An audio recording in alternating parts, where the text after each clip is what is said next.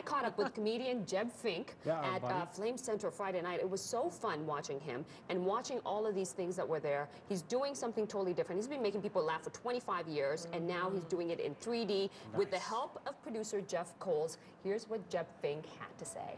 Jeff called me and he said, you know, what, what would you think about shooting this thing in 3D? And I thought 3D comedy, I, I don't know, but let's do it. So I went over to, to his uh, studio and I looked at some of the tapes, and, and uh, it's unbelievable. Jebb working with Jeff Cool. Yeah, isn't that cool?